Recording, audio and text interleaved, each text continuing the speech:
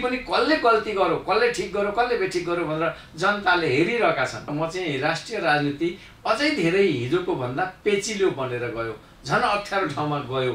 नेकपाको ओली समूह त्यसपछि राष्ट्रपतिका दिन सकिए। उहाँले विघटन गर्नुभएको थियो विघटन नगर भन्यो। योभन्दा पछिका प्रधानमन्त्रीहरूका लागि पनि यो इस्युमा यसरी हुँदो रहेछ भन्ने एउटा आफ्नो जिउको चाहिँ भैँसी नदेख्ने अर्कोको जुम्रो देख्ने भन्ने एउटा उखानै छ। त्यो ढङ्गको परिस्थिति नेपालको राष्ट्रिय राजनीतिमा पनि देखा राजनीतिलाई धेरैले पेसा ठानेर पनि यो दुर्दशा भयो। अबको नेकपाको भविष्य? के हो त? तर प्रधानमन्त्री ओलीलाई हटाउनु पर्ने कारण र हटाउनु पर्ने मुद्दा म केही पनि देख्दिनँ अहिले। र एउटा सांसदले आफ्नो निर्वाचन क्षेत्रमा विकास निर्माणका लागि गरिने वकालती पैरवी यो सबै चिज र पहल कदमी ती चिजमा म आत्मसन्तुष्टि राख्छु। संसद विघटनको कुरालाई उहाँले भन्नुभएको भने सर्वोच्चले व्याख्या गरौँ। दर्शकवृन्द नमस्कार। केन्द्रबिन्दु टक सोमा यहाँहरूलाई स्वागत गर्छु। म मनोज नेउपाने। दर्शकवृन्द पछिल्लो नेपाली राजनीतिक अवस्था निकै नै गरमाएको छ। प्रतिनिधि सभा विघटनपछि सर्वोच्च अदालतले त्यसलाई फेरि बिउताइदिएको छ र नेपाली राजनीतिमा अबको सरकार कस्तो रहला अबको राजनीति कसरी अगाडि बढ्ला कम्युनिस्ट दुई भाग भएर अगाडि बढिरहेका बेला अबको कम्युनिस्ट राजनीति कसरी अगाडि बढ्ला यो निकै नै चासोको विषय बनिरहेको छ। आज हामीले यिनै विषयमा रहेर कुराकानी गर्नका लागि केन्द्रबिन्दु टक सोमा अतिथिको रूपमा निम्तो गरेका छौँ। नेकपा नेता तथा मोरङ क्षेत्र नम्बर एकका सांसद प्रतिनिधि सभाका सांसद घनश्याम खतिवडालाई निम्तो गरेका छौँ। आउनुहोस् उहाँलाई हाम्रो कार्यक्रममा स्वागत गरौँ। माननीयज्यू यहाँलाई कार्यक्रममा स्वागत छ। धन्यवाद। आराम हुनुहुन्छ? म ठिकै छु। नेपाली राजनीति निकै नै गरमाएको छ। एक हिसाबले भन्यो भने कम्युनिस्टको दुईवटा धार दुईतिर लागेसँगै नेपाली राजनीतिले नयाँ रूप लिएको छ। पछिल्लो अवस्था पछिल्लो अपडेट के छ? अहिले निकै लामो समय खास गरिकन यो लगभग पार्टीभित्र खटपट सुरु भएको त एक वर्षै हुन लाग्यो अब। तर बिचमा पुस पाँच गतेदेखि यता संसद जतिखेर विघटन गर्नुपर्ने ठाउँमा प्रधानमन्त्री पुग्नुभयो त्यो ठाउँबाट यता चाहिँ संसद पुनर्स्थापना हुन्छ वा हुँदैन भन्ने मुद्दा रह्यो। कसैले जबरजस्त यो हुनुपर्छ भन्ने गरी आउनुभयो। कसैले अदालतको विचाराधीन कुरा हो अदालतलाई हस्तक्षेप नगरौँ भन्ने गरी आइयो। त्यो हिसाबले हेर्दाखेरि अहिले संसद पुनर्स्थापना भए पछाडि अब सर्वोच्च अदालतले संसदको बैठक तेह्र दिनभित्र डाक्नु भन्ने गरी परमादेश पनि दिएको सन्दर्भमा अब के हुने? अब कसरी अगाडि जाने? भन्ने कुराहरू आएका छन् र म चाहिँ राष्ट्रिय राजनीति अझै धेरै हिजोको भन्दा पेचिलो बनेर गयो। झन् अप्ठ्यारो ठाउँमा गयो जस्तो म देखिरहेको छु अहिलेको वर्तमान सिचुएसन। यो राजनीतिमा यो गुट उपगुट भन्ने बडा गजबको हुँदो रहेछ। तपाईँलाई के लाग्छ? यो नेपाली समाजको चरित्रसँग राजनीतिक क्षेत्रका व्यक्ति व्यक्तित्वको चरित्र त्यही समाजको उपज भएकोले गर्दा गाँसिएर आउँदो रहेछ। एकले अर्काको नेतृत्व नस्वीकार्ने अर्काले गरेका राम्रा असल कामहरू नदेख्ने वा अर्कालाई चाहिँ आफ्नो जिउको चाहिँ भैँसी नदेख्ने अर्कोको जुम्रो देख्ने भन्ने एउटा उखानै छ। त्यो ढङ्गको परिस्थिति नेपालको राष्ट्रिय राजनीतिमा पनि देखा पर्यो। यो दुःखद कुरो हो। यो राम्रो विषय होइन। पार्टीभित्र जब मान्छेको क्षमता हुँदैन क्षमता सकिँदै जान्छ सिद्धान्त छाया पर्दै जान्छ अनि गुटबन्दी सुरु हुन्छ त्यही गुटबन्दीको शिकार नेपालको सिङ्गो राष्ट्रिय राजनीति गुटबन्दीको शिकार भएको छ अहिले। मलाई त्यस्तो लाग्छ। नेपाली कम्युनिस्ट जति बेला सुरु भयो कम्युनिस्ट आन्दोलन सुरु भयो र पछि पछिल्लो समय आएर एक ढिक्का भएको थियो। तर त्यो लामो समय टिक्न सकेन। जुन लेभलमा माथिल्लो लेभलदेखि तल्लो लेभलसम्म त्यो जुन मिल्नुपर्ने अवस्था थियो त्यो मिलि नसकिने बिचैमा त्यो फेरि फुटेर गयो। त्यसैले गर्दाखेरि नेपाली राजनीति आजको अवस्थामा जुन धर्मरायको अवस्थामा तपाईँकै शब्दमा भन्यो भने पेचिलो बन्दै गएको छ। होइन? अहिलेको राजनीतिक अवस्था चाहिँ जसरी सर्वोच्च अदालतले संसद पुनस्थापना गरेपछिको अवस्थालाई हेर्दाखेरि विभिन्न सञ्चार माध्यममा लेखिएका सम्पादकीय पढ्दाखेरि अब नेकपाको ओली समूह त्यसपछि राष्ट्रपतिका दिन सकिए। त्यसलाई चाहिँ न्यायिक अथवा चाहिँ तपाईँको प्रश्न मैले बुझेँ यो कस्तो भने तल सडकबाट गरिने हल्लाहरू जे गरे पनि हुन्छन्। जे भने पनि हुन्छन् मैले पनि देखेँ। सर्वोच्च अदालतले फैसला गर्ने बित्तिकै अब केपी ओलीलाई हामी बालुवाटारबाट घिचारेर निकाल्छौँ सडकमा। यस्ता चाहिँ स्थायी कमिटीकै सदस्यहरूको आवाज पनि सुनिए। यी बेकारका कुरा हुन्। केपी ओलीले एउटा विधि र प्रक्रियाभित्रबाट हटाउँदाखेरि उहाँले हट्नुपर्छ। तर विधि र प्रक्रियाभित्र नगइकन कसैले जोर जबरजस्त हटिदिनु पर्यो राजीनामा गरिदिनु पर्यो यो आग्रहको कुरा होइन। आग्रहको कुरा होइन। केपी ओलीले एउटा प्रसङ्गमा मलाई मेरै दलभित्रबाट काम गर्न डिस्टर्ब भयो। म चाहिँ बहुमतको प्रधानमन्त्री। मैले दलभित्रबाट काम गर्न मलाई बाधा परेकोले गर्दा काम गर्न सकिनँ। म ताजा जनादेशमा जान्छु। भनेर उहाँले संसद विघटन गर्नुभएको थियो। सर्वोच्चले संविधानका धाराहरू कोट गरेर यो धारा अन्तर्गत तपाईँ जान सक्नुहुन्न भनेपछि सर्वोच्चको निर्णयलाई सबैले सम्मान गर्नुपर्छ। शक्ति पृथकीकरणको सिद्धान्तमा मैले गरेँ म सर्वोच्चको निर्णय मान्दिनँ भन्नुभयो केपी ओली भने केपी ओली गलत हो। सर्वोच्चले मलाई त्यो नगर भन्यो संसद पुनर्बहाली भयो अब संसदको बैठक बोलाउनु पर्छ संसदको बैठकभित्र उहाँले अविश्वासको प्रस्ताव लिएर आउन सक्नुहुन्छ। अविश्वासको प्रस्तावले हटाउन सक्नुहुन्छ। हामी कानुनी राज्य र विधिको शासनको कुरा गर्छौँ। कानुनी राज्य र विधिको शासनबाट जे चिज हुन्छ त्यो चिजलाई टेकेर अगाडि जानुपर्छ। न कि बल जबरजस्त कसैलाई प्रधानमन्त्री हुन मन पर्यो। आज म सुन्दैछु अचम्म अचम्म लाग्छ। कसैले चाहिँ अब शेरबहादुर देउबालाई प्रधानमन्त्री बनाउन चाहिँ एकदम निमन्त्रणा लिएर जानुभयो भन्ने सुन्छु। कम्युनिस्ट पार्टीले दुई तिहाईको नजिक जितेको छ। आफू मिल्न नसक्ने अनि अर्कोलाई प्रधानमन्त्री खोज्न जाने लाजमर्दो कुरा होइन। यस्तो गर्न पाइन्छ। हो भने मलाई त विश्वास लाग्दैन। मेरा पार्टीका नेताहरूले त्यो गर्नुभयो। अहिले पनि कम्युनिस्ट आन्दोलनभित्र केपी ओलीलाई चाहिँ उहाँले जसरी कारवाही सारवाही के के भनेर केपी ओलीको इतर टिममा बस्ने साथीहरूले भन्नुभएको छ एउटै नेकपा बनाउने हो भने ती कारवाहीका कुराहरू उहाँमाथि लागेका अभियोग पत्रहरू फिर्ता लिनु पर्यो। अब संसद पुनर्स्थापना भइसकेपछि उहाँले गरेको गल्ती अदालतले सचाइदियो लु है नबाजौँ भनेर जानु पर्यो। अहिले पनि केपी ओलीले प्रचण्डलाई कारवाही गर्नुभएको छैन नि? माधव नेपाललाई कारवाही गर्नुभएको छैन नि? उहाँहरू नै हो अध्यक्ष। त्यो हिसाबबाट अगाडि जानुपर्छ र तीभित्रबाट कम्युनिस्ट पार्टीकै कार्यकर्ताभित्रबाट सम्भावना खोज्नुपर्छ।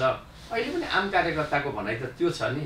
अब कहाँ दलको प्रधानमन्त्रीलाई हटाएर अर्को दलको प्रधानमन्त्री बनाउन खोज्ने कुन कम्युनिस्ट नैतिकताको कुरा हो? मान्छ जनताले। त्यसले गर्दा केपी ओलीको अहिले अविश्वासको प्रस्ताव ल्याएर संसदबाट पास गरेर हटाउनुहुन्छ भने त्यो एउटा बाटो हो। कि दुई वर्ष पछाडिको निर्वाचन वेट गर्नु पर्यो र निर्वाचनबाट परास्त गरेर हटाउनु पर्यो नभए म त केपी ओली हट्नु पर्ने कुनै लजिक पनि देख्दिनँ र त्यो ढङ्गको कानुनी बाटो पनि देख्दिनँ म त। मैले एकदमै छोटो आन्सर खोजेँ जस्तो कि जसरी सञ्चार माध्यमले जसरी सम्पादकीयहरू आए चाहिँ सर्वोच्च अदालतले जसरी केपी ओलीको कदम विरुद्ध चाहिँ गतिलो झापड हान्यो भनेर शब्दहरू आए र तपाईँहरूकै नेकपाकै चाहिँ इतर पक्षले पनि त्यो खुसियालीमा लड्डु खुवाई खुवाई पनि गर्नुभयो।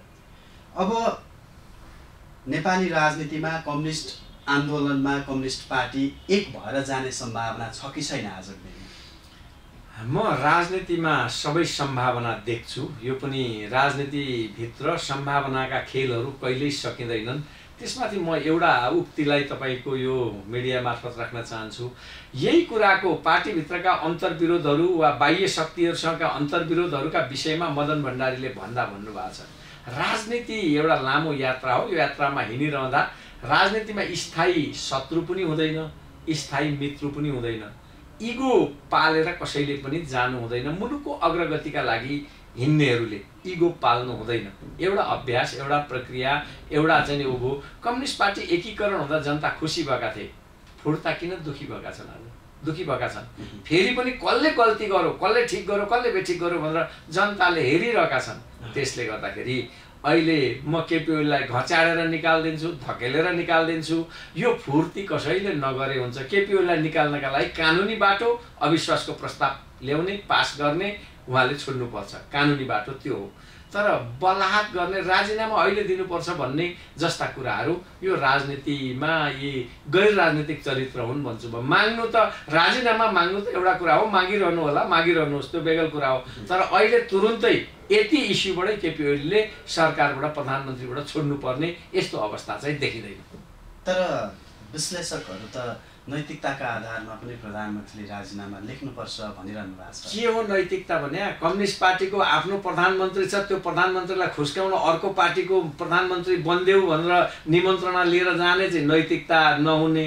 अनि प्रधानमन्त्रीले चाहिँ संसद विघटनको कुरालाई उहाँले भन्नुभएको भने सर्वोच्चले व्याख्या गरौँ। शक्ति पृथकीकरणको सिद्धान्तमा व्याख्या गरौँ। उहाँले विघटन गर्नुभएको थियो विघटन नगर भन्यो। योभन्दा पछिका प्रधानमन्त्रीहरूका लागि पनि यो इस्युमा यसरी हुँदो रहेछ भन्ने एउटा व्याख्या गरौँ। सर्वोच्चको व्याख्यालाई त हाम्रो सम्मान छ त।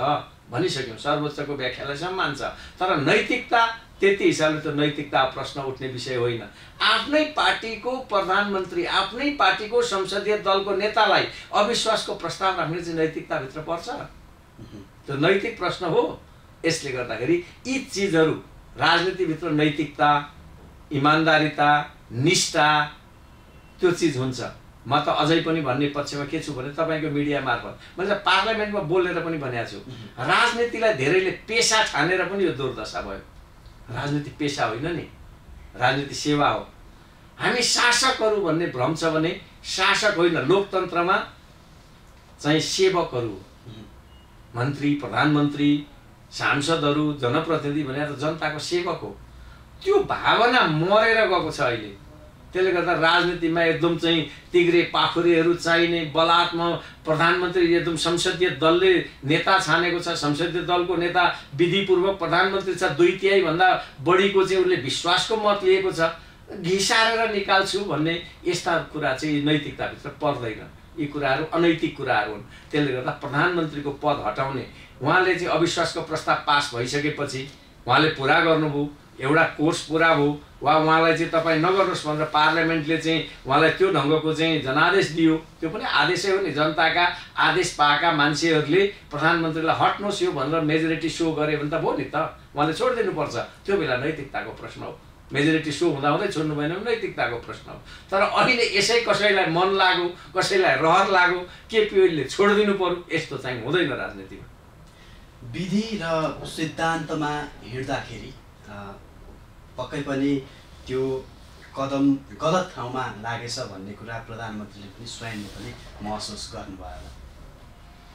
र मैले जोड्न खोजेको विषय भनेको चाहिँ विगत दुई महिनाभन्दा बढी समय शून्य समय जस्तो भयो। संसद एक संसदविहीन अवस्था। अवस्था रह्यो। यो समयले चाहिँ तपाईँहरू जस्ता नेतृत्वमा जानुभएको व्यक्तिहरूलाई चाहिँ केही सिकायो कि सिकाएन? धेरै चिज सिकायो। यसले धेरै चिज सिकायो। के सिकायो भने वास्तवमा पदसहित प्रस्तुत हुँदा र पद बेगर प्रस्तुत हुँदा के हुँदो रहेछ भनेर एउटै कार्यकालमा अनुभव गर्न पाउने योभन्दा अगाडि पनि सत्तालिसको संविधान अन्तर्गत भएकोमा दुई हजार बाहन्न सालमा एकपटक यस्तो भएको थियो संसद पुनर्बहाली त्यो बेला पनि अदालतले गरेका थियो मनमोहन अधिकारीले गरेको बेलामा। अहिले पनि भयो त यो चाहिँ कस्तो हुन्छ भने वास्तवमा त्यो विषय संविधानभित्रैबाट यो एकदम गैर कानुनी गैर कानुनी। संविधानको व्याख्या पनि हाम्रोमा दुई हजार बहत्तरको संविधान जारी भइसकेपछि नेपालको संविधानको यो हक सम्बन्धीका कुराहरू चाहिँ कुन कुन धाराले चाहिँ गरेका छन् भन्ने कुराको अलिक बढी जनमानसमा व्याख्या हुने मौका पनि पायो।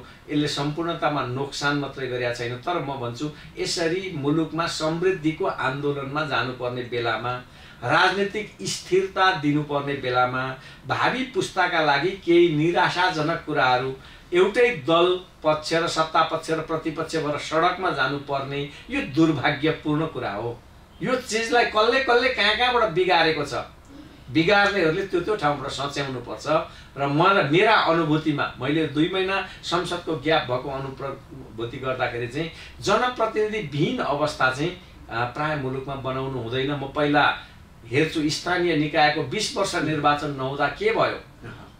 त्यहाँ तिन ब्याज आउने मान्छेहरू चाहिँ रोकिए। यसले गर्दाखेरि चाहिँ अहिले अहिलेको सिस्टमभित्र पद्धतिभित्र हामीले संविधानको पूर्णतया प्रयोग गरेर गइरहेका छौँ। यो हाम्रो चाहिँ नयाँ प्रयोग पनि छ अनि हाम्रो डेमोक्रेसी नितान्त अलिकति मौलिक खालको पनि छ। हाम्रो चाहिँ बेलायतकै जस्तो ट्याक्कै त्यही मोडलको पनि छैन। इन्डियाकै जस्तो मोडलको पनि छैन। अलिक बढी समावेशी अलिक बढी भिन्न मोडलको अलिक बढी प्रतिनिधिमूलक ढङ्गमा आउन पाउने गरेको मैदान राजनैतिक मैदान र राजनैतिक प्रतिनिधित्व अलिक फराकिलो बनाएको संविधान हो। यस अर्थमा यस अर्थमा संविधानको एउटा प्र्याक्टिस भयो र त्यो हेर्दा म जस्ता तपाईँले सोध्नुभयो म जस्ता सांसदहरूले पदमा हुँदा र नहुँदाको अनुभूत यो दुई महिनाको बिचमा गऱ्यौँ र वास्तवमा पदमा बसेर जनताको मेन्डेट साथ केही काम गर्यो भने त्यो अलिक बढी प्रभावकारी हुँदो रहेछ भन्ने अनुभवहरू पनि भए यो बिचमा भए। मैले यही प्रसङ्गबाट जोड्न खोजेको विषय भनेको चाहिँ यो शून्य समय पछाडि त्योभन्दा अगाडि अविश्वासको प्रस्ताव पनि एक हिसाबले दर्ता गरेको छ लगेको छ सचिवालयमा होइन? अबको नेकपाको भविष्य के हो त? अबको नेकपाको भविष्य नेताहरूले अहिले पनि सुझबुझका साथ सुझबुझका साथ लामो यात्रा पार गरेर नेताहरू आउनु भएको छ। कसैलाई पनि म अवमूल्यन गर्दिनँ सबैले त्याग गरेर आउनु भएको छ। एउटा एउटा जीवनमा सम्पूर्ण अवसरहरू गुमाएर राजनीति नै सबै चिज हो भनेर उहाँहरूले चाहिँ राजनीतिलाई समय दिएर यहाँसम्म आउनु भएको छ। उहाँहरूलाई सल्युट नै गर्नुपर्छ सबैलाई सल्युट गर्नुपर्छ। चाहे त्यो झापा आन्दोलनबाट आएको होस् चाहे त्यो चाहिँ हिजो विकसित हुँदै नेकपा एमाले हुँदै आएको होस् चाहे हिजो सशस्त्र विद्रोहबाट चाहिँ विकसित हुँदै सशस्त्र युद्ध लडेर विकसित हुँदै आएको चाहिँ नेकपा माओवादीको धारबाट आएको होस् सबै मान्छेहरूका त्याग मुलुकलाई अग्रगमनमा लाने मुलुकलाई समृद्धिमा लाने ठाउँमा भएकोले गर्दा एकचोटि कुल माइन्डले सोच्नुपर्छ नेताहरूले र पार्टी एकता प्रक्रियामा अहिले पनि आउनुपर्छ पार्टी एकता गर्नुपर्छ। गर्नुहुन्न भने नेपालमा कम्युनिस्ट आन्दोलनभित्र कहिलेकाहीँ फुट विभाजन कसैले बिचमा चाहिँ अलिकति वितृष्णा भएर वैराग्यता लिएका घटनाहरू पनि छन् त्यही ठाउँमा नेताहरू धेरै पुग्नुहुन्छ। यसले नेकपाको भविष्यसँगै अहिलेको सरकारको पनि भविष्य जोडिएको छ। सरकारको भविष्य नेकपाको भविष्यसँग जोडिएको छ। तपाईँले ठिकै भन्नुभयो। त्यसले गर्दाखेरि जनताहरूले नेकपालाई मेजोरिटी दिएर यो मुलुकमा समृद्धिको आन्दोलन अगाडि लिएर जाऊ आफ्ना घोषणापत्रमा गरिएका कामहरू बाचाहरू के छन् त्यसलाई अगाडि लिएर जाऊ र सुखी नेपाली र समृद्ध नेपाल निर्माण गर्ने अभियानमा लाग भनेर मेजोरिटी दिएको हो। नेताहरूलाई जहाँ पायो त्यहाँ अविश्वासको प्रस्ताव राख्दै हिँड्ने। जतिखेर मन पायो त्यतिखेर चाहिँ एकदम नेतृत्व परिवर्तन गर्दै हिँड्ने। त्यो छाडा तन्त्रमा प्रवेश गर्न दिएको होइन। हामीले त त्यो बेला पनि मैले तपाईँको मिडिया मार्फत यही टेलिभिजन मार्फत मैले भनेको छु प्रधानमन्त्री फेर्नका लागि संसदीय दलमा र संसदभित्रबाट निकास खोज्नुपर्छ। त्यहाँबाट निकास खोजौँ। पार्टी अध्यक्ष फेर्नका लागि पार्टीको महाधिवेशनबाट निकास खोज्नुपर्छ। महाधिवेशन गरेर जाउँ त्यहाँबाट निकास खोजौँ।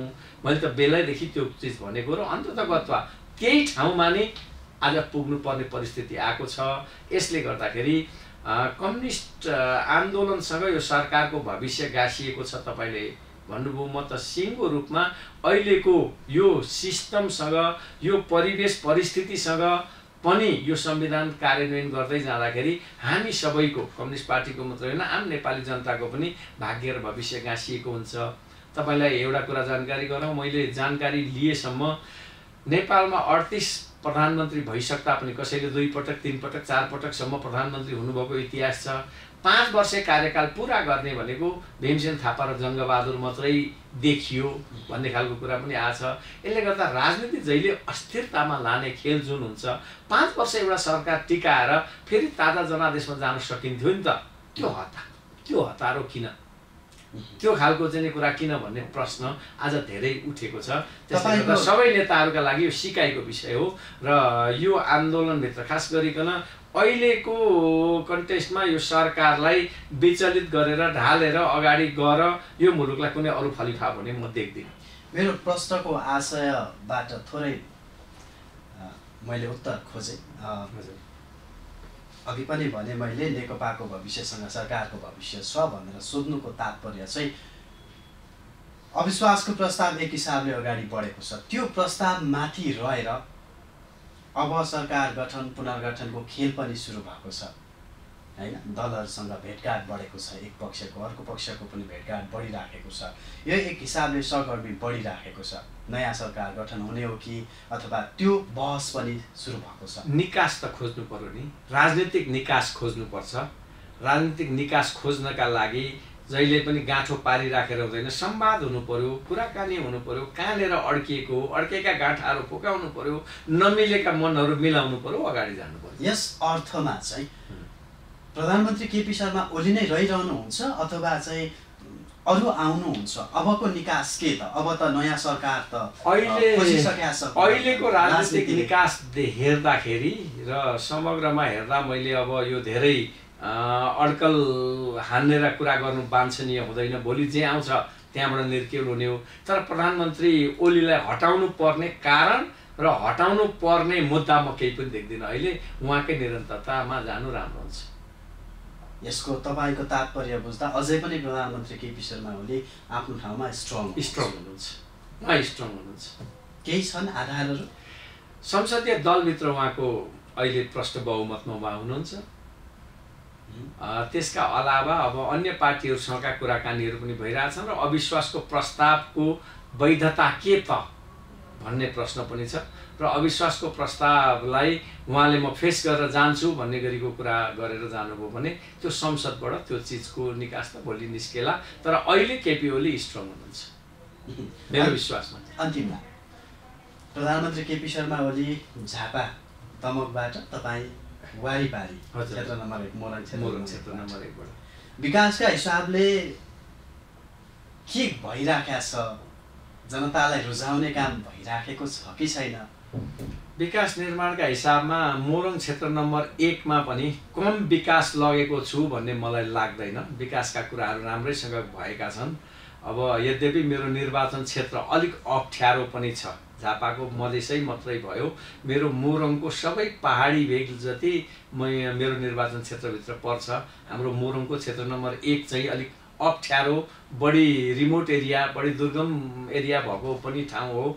त्यसले गर्दा त्यहाँ मोटर बाटो पुर्याउने बिजुली पुर्याउने धरान भित्ताबाट तल चाहिँ राजमार्ग नझरिकन यता आउन सक्ने मदन भण्डारी हाइवे चाहिँ मोरङ जिल्लामा निर्वाचन क्षेत्र नम्बर एकबाट मात्रै पर्छ। अरू निर्वाचन क्षेत्रलाई त्यसले टच गर्दैन।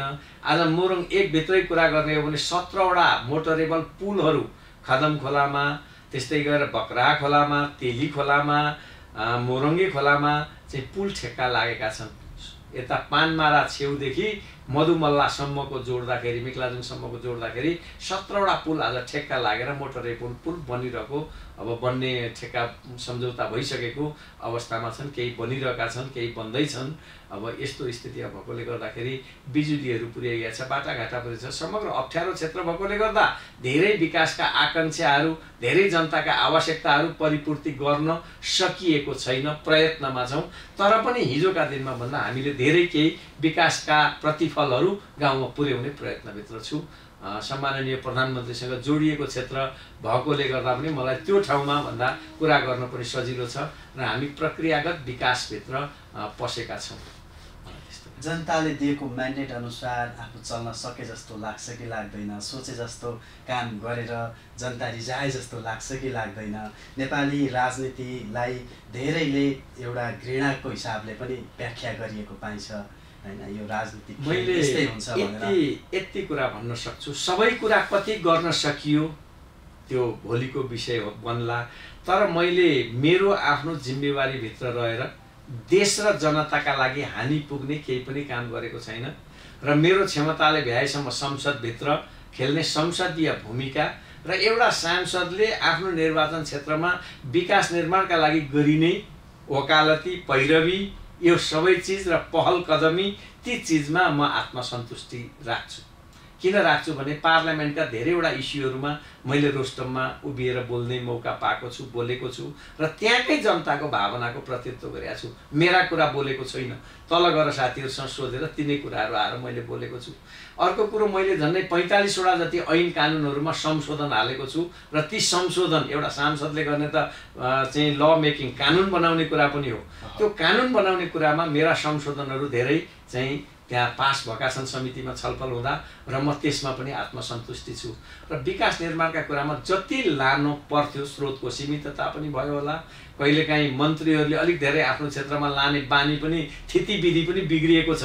त्यसले गर्दाखेरि अलिक बढी मार्का पनि पर्यो होला कतिपय कुरामा। हामीलाई मन्त्री नभएका सांसदहरूलाई यस्ता केही कुरा छन् तर मेरो क्षेत्रका स्थानीय तहहरूसँग मिलेर म काम गरेको छु र म विकास निर्माणका कुरामा र मेरो संसदले एउटा पार्लियामेन्टको मेम्बरले सङ्घीय संसदमा प्रतिनिधि सभाको सदस्यले निर्वाह गर्नुपर्ने भूमिकामा म त्यस्तो शिर झुकाउने गरी वा त्यत्रो अपमानित हुने गरी होइन म शिर ठाडो पार्ने गरी र मेरो क्षेत्रका जनताको भावनाको प्रतित्व गरेको छु भन्ने हिसाबबाट म चाहिँ सन्तुष्ट छु।